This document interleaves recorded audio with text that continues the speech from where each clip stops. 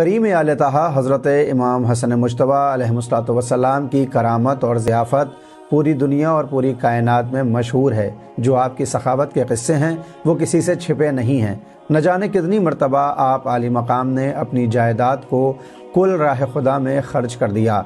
लिहाजा जिसके घर में रोज़ाना दस्तरखान बिछा करता था, उसके नाम से हम भी एक दिन दस्तरखान इमाम हसन से मरबूत करते हुए उनकी याद मनाते हैं। ताकि इसके पीछे छुपी हुई खुशियों से हमारी दुनिया और आखिरत संवर जाए। आयतुल्लाह बहजत से जब किसी ने सवाल किया कि, मौलाना, बताइए कि सलावात ज़्यादा अहम है या फिर दुश्मनों पर लानत? आयतुल्लाह बहजत ने जवाब दिया कि, लानत तखलिया है और सलवा तहलिया। यानी पहले हमें अपने आप को खाली करना होगा। जब किसी बर्तन को सजाया जाता है तो पहले उसको साफ़ किया जाता है और गलाजत को दूर करते हैं और फिर सजाने की कोशिश करते हैं।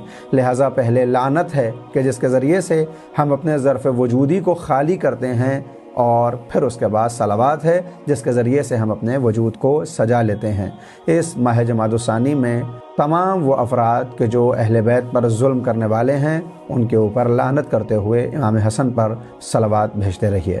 दस्तर खान मुबारक हो।